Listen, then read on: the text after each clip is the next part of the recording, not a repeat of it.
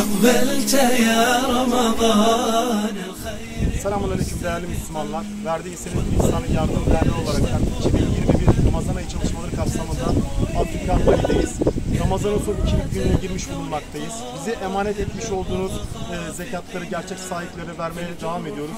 Cigaoma'daki kız e, yetimhanemize geldik. Burada sadece kız yetimhane kardeşlerimiz var. Bizi emanet etmiş olduğunuz zekatları onlara kendileri veriyoruz. Razı olsun. Allah'a emanet olun. فاصدح به خيرا يمحو الشياطين طوبى لمن حقق الأفضال مجتهدا تقوده لجنان شوقها فينا أقبلت يا رمضان الخير مستبقا والقلب يشتاق دوما أنت تروينا.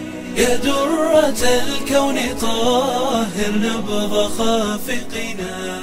فالجرح